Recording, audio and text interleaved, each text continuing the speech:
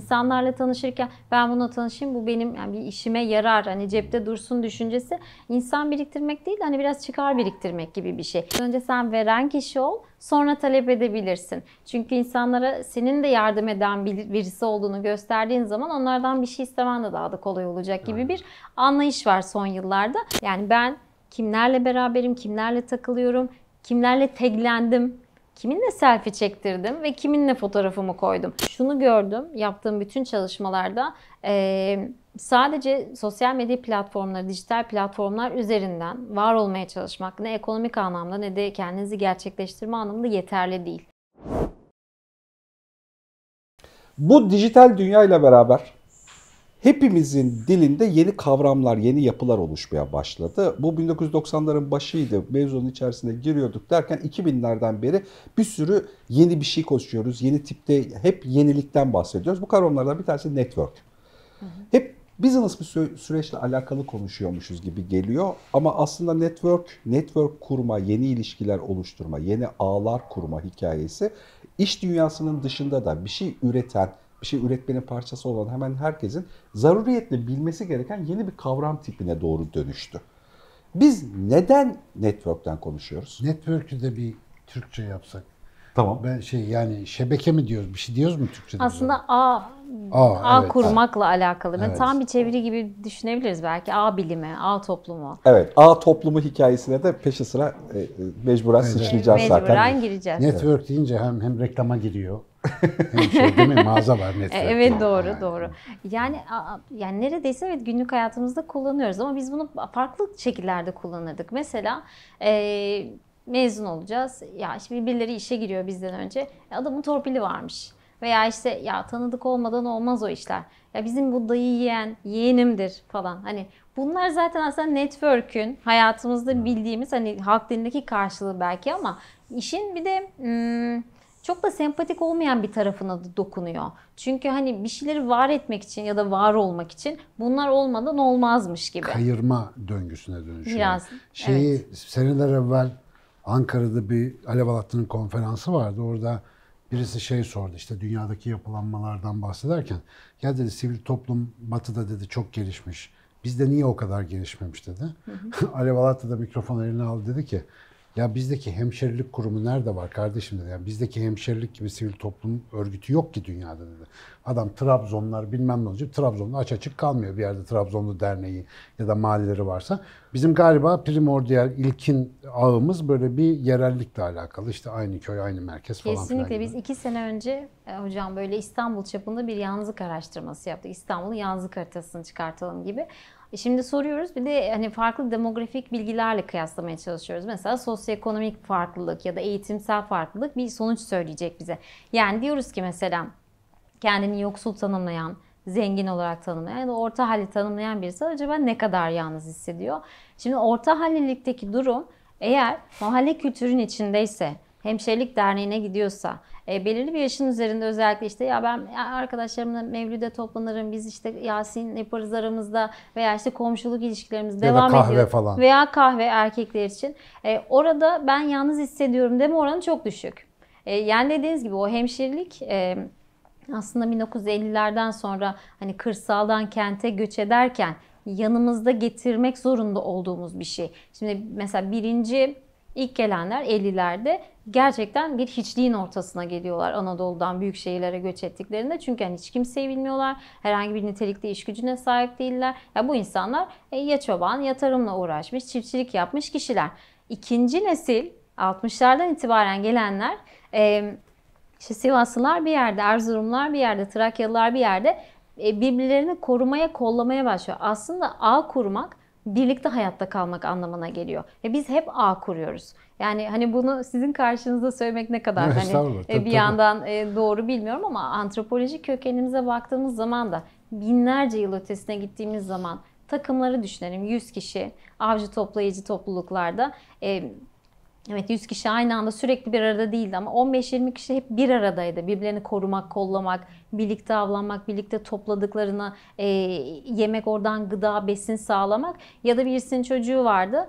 E, e, ailenin işte o takımın büyüğüne o çocuğu bırakmak. Yani bu mecburiyetler işte o komşu komşunun külüne muhtaçlıklar. Aslında bizim gelenekselde yaptığımız, bildiğimiz şeyler. Ama evet belki biraz böyle hani e, bu yeni kültürün içinde daha küresel, global kültürün içinde o eski bildiklerimize yeni isimler vererek satma çabasındayız. Yani networking gibi. Öyle mi yoksa kurallarında bir şey değişti mi? Yani e, eski bildiklerimiz artık işlemiyor ve onun yerine yeni bir şey mi işliyor? Yani işte iş bulmak için artık Hı-hı. dijital dünyada hiç tanımadığımız insanlarla ilişki kurmayla ilgili başka bir zaruriyet başlıyor. Hı-hı. Flört etmek istiyorsak yine aynı keza aynı şekilde işliyor. Biz bir şey üretiyorsak ürettiğimiz şeyle ilgili ihtiyaç duyduğumuz şeyi yine dijital dünyada birilerini arıyoruz. Hani eskisi gibi Doğru. biz bunu hemşerilerden çözeriz. Bizim hemşerili boyacı var diye bakmıyoruz işte. Boyacılıkla alakalı bir web sitesine girip oradan birini bulmaya çalışır. Döngünün Benim içindeyiz. bu insan fabrika ayarlarında üçüncü madde ya sosyal ilişkiler. Hı-hı. Yani olmazsa yaşayamıyoruz falan diye ama işte onun Mesela bu dijital dünyada benim en fazla çözümleyemediğim, tam kafamda oturtturamadığım kısmı işte 100-150 kişilik bir klana göre beynimiz var işte Dunbar evet, sayısı evet. kadar. Hem şimdi bir buçuk milyon, bir buçuk milyar Tabii. falan gibi rakamlar var karşımızda. Buna baş edebiliyoruz gibi. Bir de şu var evet. yani bu artık yol oluyor. Yani yeni hal bu oluyor da ben hani kalıbımı ha, basarım net söyleyeyim beyin değişmiyor abi. Beyin ya işte 10 bin sene önceki beyin evet. neyse bugün de öyle. Evet. Şimdi biz bunun içerisinde şu anda debeleniyor, patinaj yapıyoruz gibi bir hissiyatım var.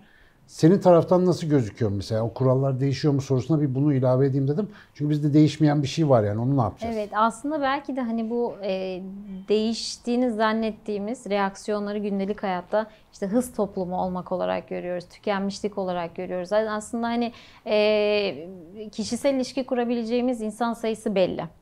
Hani bunun ötesine gidemiyoruz. Yani belli bir güven Mesela güven sarmalında çok az sayıda insanla iş yapabiliyoruz değil mi? Yani hani ama evet. ama karşılaşmalarımız çok fazla ve çok kısa süreli. Zaten dikkat süremiz de çok kısa. Hepimizin de bildiği gibi.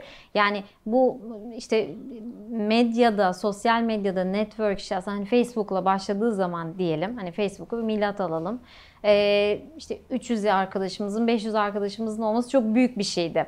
Ee, ve hani bir reaksiyon olarak aslında biz o kadar kişiyle arkadaş olduğumuzu zannettiğimizde altındaki genel olarak hani etki tepki like, dürtmek gibi hani aslında saniyede yaptığımız şeyler. Yani derinlemesine bir bağ kurmuyoruz orada. Yoksa bu network dediğimiz meselenin çok fazla alt dalı var. Yani o güven köprüsü kurmak, köprü olmak, aracı olmak, e, bir A noktasından B noktasına bir meseleyi halleden kişi olmak, siz tanımadığınızda da e, tanıdığınız birisine ulaşabilecek birini tanımış olmak gibi. O örgüler ama e, bizim o bildik e, belki nesiller boyu getirdiğimiz işte hemşerilik, arkadaşlık, akrabalık, komşuluk, aynı iş yerinde çalışmak, e, işte aynı kafeye gitmek, oralarda takılmak üzerinden daha rahat işliyor. Diğer türlü sayısız kombinasyon kadar karşılaşma yaşıyoruz. Yani hepimizin sosyal medyasında sizin kadar olmasa da bir hayli takipçimiz var. E, ve e, bunlar kısa anlık e, sosyal etkileşimler. E, belki bunu biraz normalleştiriyoruz ama e, işte Mustafa Can'ın da verdiği örnek çok güzel. Evet eski köye yeni adet gibi biraz. Şimdi mesela bir, bir karşı insan biriyle bir araya gelmek istiyoruz ya bir partnerimiz olsun istiyoruz. Bunun için hani görücü usulü annemizin bizim için birisini bulmasını beklemiyoruz. Yani ya da herhangi ya da bir mahalleye bakmıyoruz mahalleye artık. bakmıyoruz Eski, eskiden mahalleye yani. bakıyorduk evet. yani. Hani bunun için birçok e, işte app'ler var, dijital platformlar var, bir araya geldiğimiz durumlar var. Ee, o yüzden hani bu zaten biraz küreselleşmenin de etkisi aslında uzakları yakın etme meselesi. Ee, dil bariyerinin belki biraz daha aşılmış olması, hani daha dünya insanı yapıyor bize. O anlamda genişliyoruz. Burada bir sıkıntımız yok belki. Yani hiç tanımadığımız birinin, ben bugün zannediyorum LinkedIn'de e, birisi bir başarısından bahsetmiş. Yani zorlu bir yoldan geçmiş Sonunda işte elde etmek istediği başarıyı elde etmiş. Hiç tanımıyorum bu insanı ama tebrikler yazdım mesela. Bir etkileşim yakaladım orada. Yani e, bir beklentim olmadan aslında bir yandan da. E, benim kafamdaki o network tanımı e, belki daha önceki konuşmalarımızda da bahsettiğimiz ne kadar organik ve doğalsa e, o kadar bana gerçek, samimi, bizden gibi geliyor. Yoksa aslında bu hani hmm, network kurma meselesi, işte tanıdıklık esası meselesi özünde yani biraz aslında tartışmalar hep şeydir işte yanınızda her zaman kart vizit taşıyın falan. Hani onlar bitti zaten. Yani kart vizit verdiği zaman birisi size hatta biraz itici buluyorsunuz bir ortamda Ben gibi. fotoğrafını çekip geri veriyorum yani.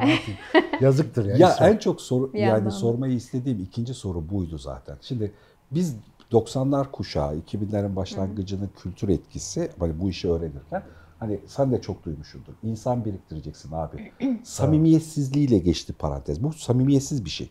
Yani ben tanıştığım insana bu benim ne işime yarar diye bakarak ilişki kurma çok çirkin bir şey bir şeydi. Ama bir yandan da hani bu o insanla karşılıklı işlevliliğin seni üretebileceğin bir başka şeyi para kazanmayla ilgili değil. Üretmek istediğin bir şey başka şeyle alakalı potansiyelli kılıyor. Yani yarın öbür gün bir şey yapmak istiyorsan eğer onu güveniyor ve tanıyorsan onunla tanışmışsan onunla beraber bir şey yapabiliyorsun. O sana bir yol açıyor. O samimiyetsizlik bitti mi sence? Ya da yeni bir üslubu var mı? Çok zor bir soru bu gerçekten. Çok da güzel bir soru. Ee, yani bence samimiyetsizliği daha fazla hissediyoruz ve bununla ilgili aksiyon alıyoruz gibi. Çünkü o önceki say- Çözüm yolundayız yani. Yani çözüm yolundayız. Çünkü biliyoruz yani çok gözümüze batıyor böyle şeyler. O çok agresif bir hani self marketing de biraz hani kendini tanıtmaya çalışmak. Hani insanlarla tanışırken ben bununla tanışayım bu benim yani bir işime yarar. Hani cepte dursun düşüncesi. İnsan biriktirmek değil hani biraz çıkar biriktirmek gibi bir şey. İnsan temelinde hani benim dostum, arkadaşım, e, etrafımda insan olsun, bir sosyal ortamım olsun dediğiniz şey daha samimiyet noktasına dokunmak zorunda. E, bence insan zaten bunu hissediyor, biliyoruz yani gördüğümüz anda biliyoruz. E, belki de benim bu konuları çalışmaya başlamam, hani herkes kendi hikayesini çalışır ya biraz sosyal bilimlerde. E, ben müzik yapacağım diye yola çıkmıştım ve bizim hiç tanıdığımız yoktu. Yani e, hiç ailemde sanatla ilgilendi. Evet herkes amatör düzeyde ilgilenirdi ama profesyonel meslek edinmemişlerdi. Sonra bunun iki yolu olabileceğini gördüm ben. Yani bir gerçekten şu saydığımız agresif olarak insanlarla tanışayım. Onunla şöyle yaparsam, bundan bunu yaparsam işte şuraya daha kolay kestirme yoldan gelirim mi yolu var. Bu hatta başarıya çok daha kısa götürüyor bu arada. Bir de yani hani ben bu işi seviyorum. Yani bu meslek şu anda bizi izleyenler için hangi iş yapıyorsanız fark etmez. Ben burada yükselmek, ilerlemek istiyorum. İşimi icra etmek istiyorum. Mesleğimde iyi bir noktaya gelmek istiyorum. Yani iş dünyasından konuşuyor olursak sadece. Ve başkalarıyla neden işbirliği yapmayayım? Ortaklık kurmayayım? Çünkü bu tek taraflı olduğunda bence çok patlayan bir durum. Yani hep ben yardım dileyemem insanlardan ve herkes benim emrime amade olamaz. Ben de bir şey vermeliyim. Yani birlikte olmalı. Bu collaboration, hani işbirliği, dayanışma dediğimiz mesele olursa güzel bir noktaya oturuyor. Yoksa ben herkesin bunu zaten hissettiğini düşünüyorum. İşte bu biyolojiden devşirmeye çalıştığım benim bazı temel kurallarım bir tanesi bu. Önce katkı verdiğin zaman senin ağın da ona göre oluşuyor. Yani çıkarcı bir ağın sonuçları başka. Katkıyla oluşan bir ağın ya da ilişki biçiminin sonuçları bambaşka. Bizim mesela YouTube kanalı, Açık Bey'in YouTube kanalı ya başından beri bildiğim için nasıl katkı veririz kafasıyla çalışıyor. Biz abone sayılarına falan çok nadir Siz bakıyoruz. kooperatif gibi bir Tabii, tabii. e, oluşumsunuz Aynen aslında. öyle ve yani devamlı ya şu mesela bugün seninle oturmamız bile aslında öyle bir seninle aslında yeni network sayılırız. Hem Evet. okulda hem mahallede komşu olmamıza rağmen. Komşuluğumuzun Tabii sonucu. tabii bayağı yakın komşuyuz biz Tuğba'yla. Ama yeni yeni henüz bu akademik ya da teknik işlerle ilgili konuşmaya başladık ama mesela bugün burada olmanın nedeni sen de biliyorsun. Sen de aynı motivasyona sahipsin. Bizim Açık Bey'in içerisindeki o araştırma gruplarına verdiğin destek falan hepsi ben ne katkı verebilirim kafası. Şimdi bizim bütün ekip böyle toplanınca biz bunun bu dünyada bir çare olabileceğini görüyoruz. Bir nevi liderlik aslında. İnsan odaklı liderlikte anlatmaya çalıştığımız şey de o. Yani önce bir katkıyı düşünün. Önce bir varlığın buraya bir armağan versin ki ondan sonra etrafında ona göre bir ağ oluşsun. Şimdi bu yeni dünyada çok hızlı unuttuğumuz. Biraz önce şey dediniz ya çıkarcı bir tarafı var insan biriktirmenin. Onun bir önceki versiyonu vardı. Ya gönül kırma kardeşim. Bu bir kıstastı mesela. Bu bir hani e, edebi bir kuraldı. Ama o sonra faydacı bir tarafa evrildi. Yöntem aynı gibi gözüküyor ama niyet farklı olduğu için sonuç bambaşka oluyor. Şimdi belki de işte kadimin işe yaradığı yerler buralar olacak ki biraz heyecanla konuya şeyden girdim ama mesela bu çünkü yeni ağ, yeni sistem o kadar da yeni değil yani. Senin de bahsettiğin gibi, senin de o soruya getirdiğin gibi kadim ihtiyaçlarımızı başka bir oyun alanında gerçekleştirmeye çalışıyoruz. Burada belki işte kadim olanı tekrar hatırlamak, yani gerçek prensipleri tekrar koymak önemli. O iş bazlı ağlar, LinkedIn'ler bilmem neler Ben Allah aşkına çok kullanamıyorum. İşte bu fazla takipçi sayısından dolayı şu anda 5000 tane request olabilir. Yani bilmiyorum kim arkadaşlık gönderdi ne yaptı ama o ağları ben şeyde kullanamasam da verimli bir şekilde oradaki ilişki biçimlerinin öylesi de var, böylesi de var. Tabii. Ve bakınca gözüküyor. Belki de hani bu muhabbetler içerisindeki en önemli kısım benim açımdan kadim değeri bir daha hatırlamak. Yani mahallede seni saygın yapan şeyi sosyal medyada da, sosyal ağda da kullanabileceğini fark etmek gibi gözüküyor. Evet, e, ya örneklerini de görüyoruz aslında sosyal medyada. E, işte Haytab'ı gördük mesela orman yangınlarında gerçekten e, oradaki hayvanlar için, doğa için uğraştılar ve bizi bir araya getirmeye başardılar. Ya da işte Ahbap bunun örneği, bir birçok örnek var aslında. E, şimdi etkileşim olan yerde olmak istiyoruz biraz o aslında şey gibi arı kovanı gibi yani biz de orada olmak istiyoruz dahil olmak parçası olmak istiyoruz ve bunlar çok da yeni değil bir yandan fakat e, yine Amerika'da aslında eskinin yeni keşfi buna generosity, cömertlik sermayesi dedikleri bir şey. Tam olarak sizin anlattığınız aslında. Yani hani önce ver, bir kez, iki kez, üç kez önce sen veren kişi ol, sonra talep edebilirsin. Çünkü insanlara senin de yardım eden birisi olduğunu gösterdiğin zaman onlardan bir şey istemen de daha da kolay olacak gibi bir anlayış var son yıllarda. Hani bu da kapitalizmin bir parçası olmazsa e, orada da samimiyet sorgulanabilir gayet. Çünkü yani hani e, bazen hiç umulmadık e, cemiyetler de o şekilde kurulabiliyor. Vermek üzerine önce veriyorlar sonra belki daha sonra dahil ediyorlar sizi. Samimiyet olduğu noktada e, eskiyi tekrar uyguladığımızı düşünüyorum. Yani network dediğimiz şey Belki evet literatürde yeni yeni konuştuğumuz bir konu yani sosyal sermayedir, işte insan biriktirmektir ama e, bunların ilk insandan itibaren aslında muhtaç olduğumuz dayanışma noktaları olduğunu görüyorum, öyle düşünüyorum. Akademik bir şey merak ediyorum. Tabii. Mesela benim alanım tıp ve biyoloji alanı insanın oluşturduğu bu yeni ağ ve yeni medeniyete yetişemiyor. Mesela hmm. biz sağlık sorunlarına ya da biyolojik organizmanın bu adaptasyonuna pek kafa yoramıyoruz, daha doğrusu doğru anlayamıyoruz gibi geliyor. İşte ben o yüzden insanın fabrikaları falan diye çırpınıyorum. Hı hı. Yani bu dönemde işe yarayacak bir şey formüle etmeye çalışıyorum. Sosyal bilimler nasıl gidiyor? Yani bu değişimi sence yakalayabiliyor mu sosyal bilimler? Çünkü yöntemi daha klasik bildiğim kadarıyla fen bilimlerine göre. Hı hı. Biraz daha kadim bir düşünüş ya da çalışma biçimine dayanıyor. Nasıl gidiyor orası? Sosyal bilimlerde aslında hani artık veri e, analiz etmek bizlerin de çok başvurduğu bir yöntem. Yani daha büyük hani e, datalarla uğraşıyoruz. E, fakat yine de hani yani mesela bu konu özelinde konuşacak olursak işte bir sosyal sermaye, sermaye türleri olarak yani bir kaynak olarak görüyor. Aslında hala temelde biraz eski sayılır. Hı hı. Yani bu da bir e, cebimizde bulundurmamız gereken bir şey. Nasıl finansal sermaye biriktiriyoruz değil mi? Gayrimenkulümüz var, paramız var, işte arabamız var. Bunu bir kenara koyalım. İleride lazım olur. Kültürel sermaye, gittiğimiz okullar, ben şu an nasıl konuşuyorum, nasıl bir aksanlı şiveyle konuşuyorum, ne tarz müzikleri dinliyorum, ne tür yerlerde takılıyorum. Bana bir kültürel sermaye veriyor. Bunu da cebe alıyoruz. E, e, sosyal sermaye ilişki. Yani ben kimlerle beraberim, kimlerle takılıyorum, kimlerle taglendim, kiminle selfie çektirdim ve kiminle fotoğrafımı koydum. Hepsinin bir değeri var. Yani hani ne bildiğimi, kimi tanıdığımı önemlidir der İngiliz atasözü. E, o yüzden hala biraz durduğu nokta bence yani beşeri e, sosyal bilimler tarafından böyle şeyle business kafasıyla sanki yan yanaymış gibi. Bence biz yeni yeni ezber bozan bir şeye doğru. Çünkü bunu biraz daha biyolojik ve antropolojik kökenden okursak ezber bozmak zorundayız. Yani bu iş aslında böyle olmak durumunda. Buraya gidecek noktasında yeni bir şey söylememiz Korkum gerekiyor. Şu, o kadar hızlı kendi kendini organize ediyor ki. Evet. Nal toplayacağız yani bilgi alanları olarak. Orada bir şey olacak. Sonra biz 50 sene bunu anlamaya uğraşacağız. Evet. Ama çok başımıza geldi ki bu sırada onun modası geçecek yani yerine başka yeni çok medya önemli. bölümleri eskiyor ya. Evet, aynı evet, onun gibi evet, yani. Gerçekten. Çok önemli bir şey söyledi bir önceki cümlede gerçekten. Yani bunu anlamak için hani mesela internetin olmadığı dönemde sağlık dediğimizde başka bir şey anlıyorduk. İnternet olduktan sonra hmm. sağlık dediğimizde başka bir şey anlıyoruz ya anlamada. Şimdi A toplumuyla alakalı başka bir evredeyiz bence ve bizim gerçekten 23 yaşında yani şu Nilüfer'in anladığı kavramlarla bizim anladığımız kavramlar artık aynı değilmiş gibi geliyor.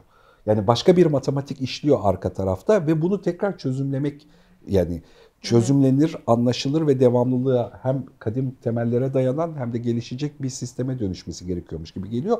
Uygulamada değişti çünkü. Yani dediğin doğru aslında. Yani herkes o selfie'nin selfie'nin ekonomik olarak bir karşılığı olup olmadığını biliyor. Tabii ki. Yani hani tabii bir şey yaparken ya da işte ne kadar değer edip etmediğini biliyor. Biz zihninde soyut bir değer algısını Tabii orada bir şey var, hesap var arkada. Evet. Yani hani Evet. Ve o pratik işliyor Tabii artık ki. bir tabii. şeyde. O da Ve- çok pragmatik bir şey yani. Bir yandan Evet. faydacı bir şey hala. Ya ben nadir denk geldim ama yani birkaç kere gerçekten beraber ne güzel benimle poz vermek istiyorlar safi niyetimin hiç de öyle sonuçlanmadığını görmüştüm. Yani bu sadece fotoğraf çektirmeyi kastetmiyorum. Yani beraber tabii. görünmeden fayda devşirmeye benim kafam basmıyormuş mesela onu fark ettim. Hatta bir fırça yedim. Niye bu- burada bulunuyorsun? Niye böyle yapıyorsun gibi uyardılar beni. Kızdım dedim ki ya ne alakası var kardeşim işte yani. Onlar da arkadaşımız kardeşimiz. Fakat orada başka bir hesap işliyormuş. Mesela ben eskide kalmışım. Yani o fırsat bende uyanmıyor ya da o şeyi göremiyorum. Şimdi bu yeni dönemde zaten eski alışkanlıkların yozlaşmış versiyonları hep var ya içimizde. Hani biraz önce bahsettiğimizde kalp kırmayacaksın prensibi insan kazan prensibine dönüşmüş, yozlaşmış bir versiyon.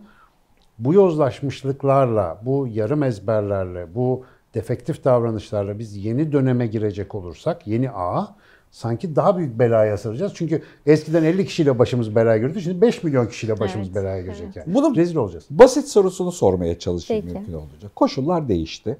Artık şunu biliyoruz. Bir şey üretiyorsak eğer yeni bir ilişkiler sistemi kurmamız gerekiyor.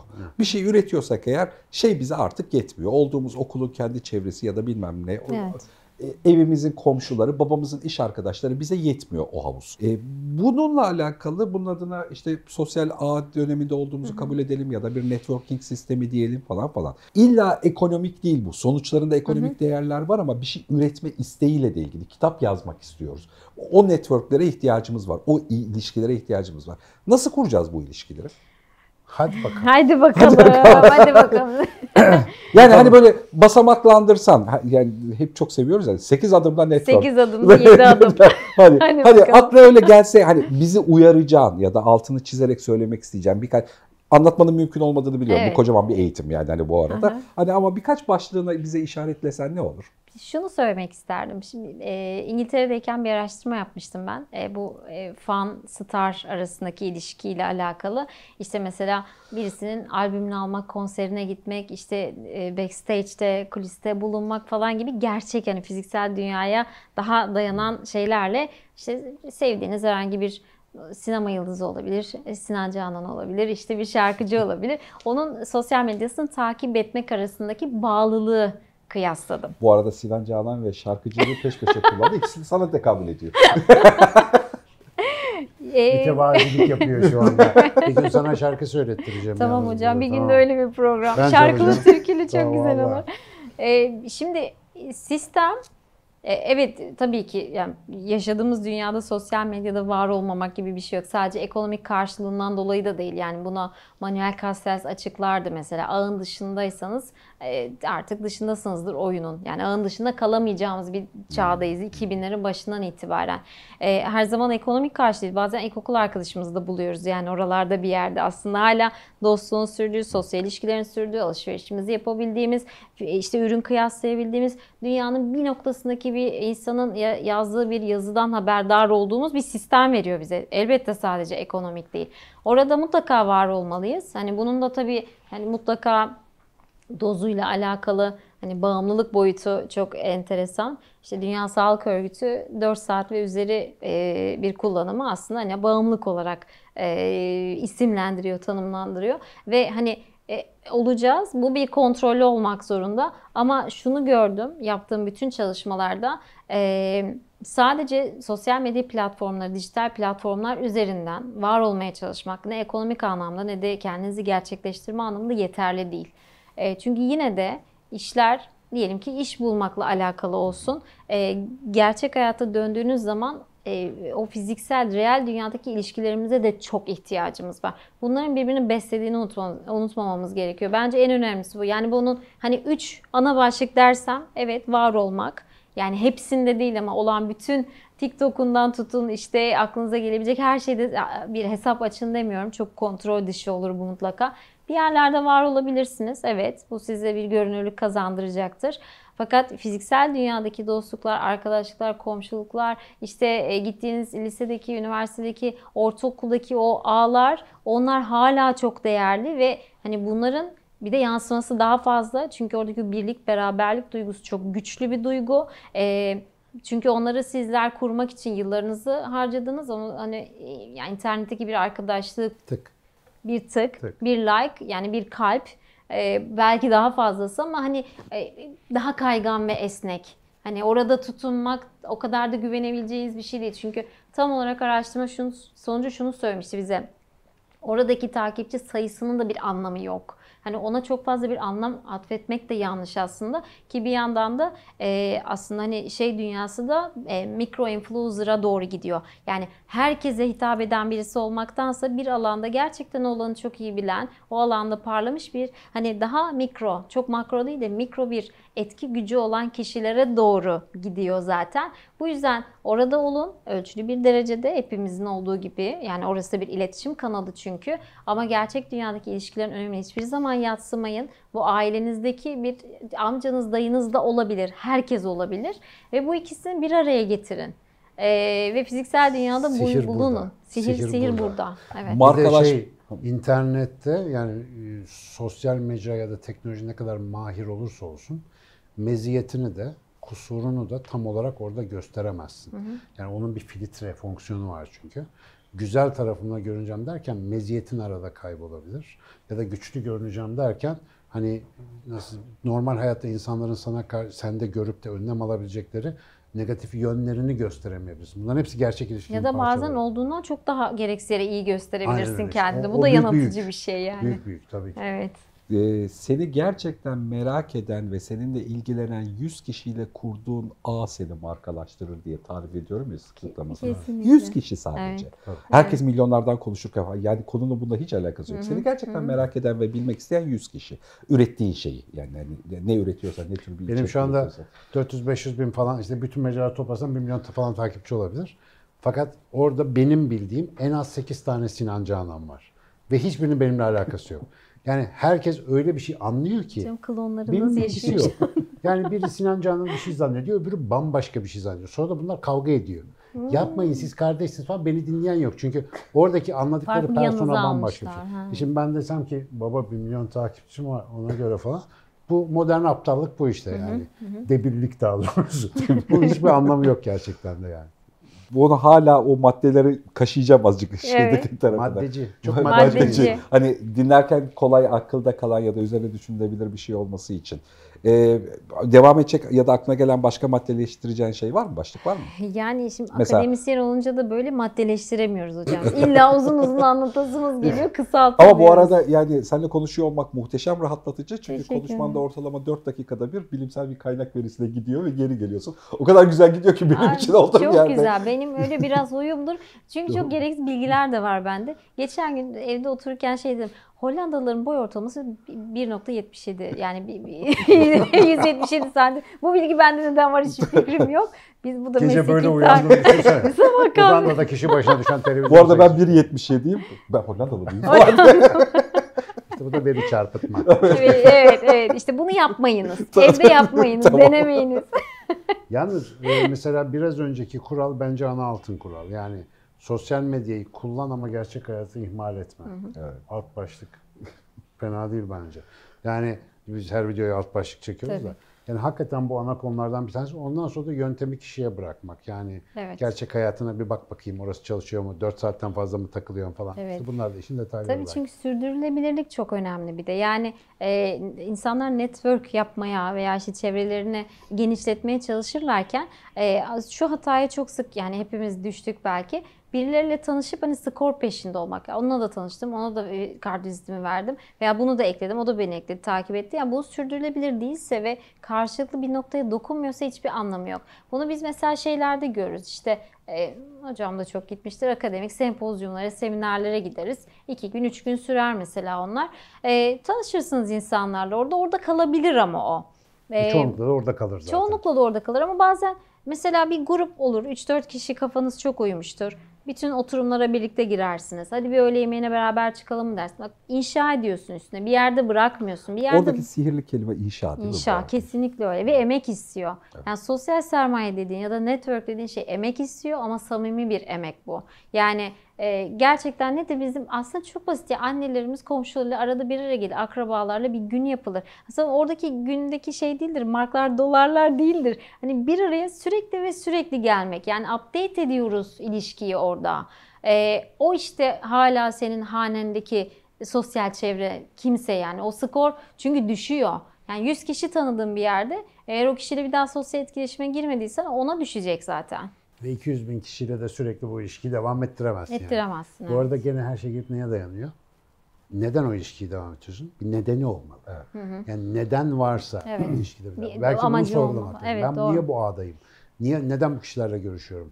Yani neden bununla değil de bununla görüşüyorum? O neden sorusu yine burada çok kıymetli. Yani bir anlamı varsa senin için bir e, hedefe matuf, hani bir şekilde işe yarayan bir şeyse tamam orada ol ama bu dönemin en önemli sorunu bizi kazara şebekelere sokuyor. Burada galiba Doğru. sürpriz kelime üretiyor olmak. Sürpriz demeyelim de tanımlayıcı al- al- alttaki şey. Bir şey üretiyorsan ne olursa olsun. Yani dalmayı öğrenmeyi de üretiyor. Yani dalmayı öğreniyor da olabilirsin ya da akademik olarak bir kitap ya da test çalışıyor olabilirsin. Ya da fırında daha iyi ekmek pişirmek üzerine bir şey üretmek istiyorsun. Bir şey üretiyorsan network'ün başlangıcının ucu bence bu. Üretiyorsan o ilişkiler o zaman sağlıklı gelişiyor. Çünkü anlamlı geliyor artık Evet. bundan sonra. Başkasıyla bunu konuşmak, bunun üzerine daha evvelden düşünmüş biriyle bunu üretmek, üzerine konuşmak. Yani ekmekle ilgili çalışıyorsa fırıncıyla konuşabilirsin artık, uncuyla konuşabilirsin. Yani senin network'ünü onlar sağlıyor. Bunun iyisi nasıl olur, kötüsü nasıl olur, ne diyorsun, senin tecrüben ne diye. Ama bir şey üretmiyorsan, sadece dış kaynaktan veri çekmeye çalışıyorsan o network'ü kurmak ya da sosyal sermaye diye tarif ediyorum. O sosyal sermayeleri oluşturmak mümkün olmuyormuş gibi görünüyor. Evet bir de şunu söyleyeyim belki bir beşinci olarak e, farklı sosyal gruplarda bulunun demek isterim. Yani o zaman dünyayı tek taraflı görmemiş oluyorsun. Şimdi bi- bizim mesela bir araştırma Evet, uygulama müzik grubumuz var Lotus İstanbul. Gerçekten bir araya gelince bir piyano, bir kanun ve solist müzik yapıyoruz, müzik konuşuyoruz. İşte orası beni besliyor. Başka bir araştırma grubunda tamamen veri analizi yapıyoruz. Projeksiyona yansıtıyoruz rakamlar, işte Türkiye'deki milyonlarca kişiyle yapılmış anket sonuçları. Orası beni başka besliyor. Başka bir yerde başka bir şey. Yani o yüzden tek taraflı, tek yönlü olmanın bizi çok kabuğumuzun içine kapatacağını düşünüyorum. Orada büyüyemeyiz zaten. Yani çok fazla orası domestik kalıyor. Ee, belki işte konforu biraz işte dürtmek, o rahat yerinden çıkmak da iyi bir şey. Hatta bazen bizim gibi düşünmeyenlerle de bir araya gelmemiz gerekiyor. Yani hani hani çok da belki hani abest bir şekilde aykırı bir ortamda bulunun demiyorum ama hani de- de- denemekten de bir şey olmaz. Orada da bir etkileşim doğabilir.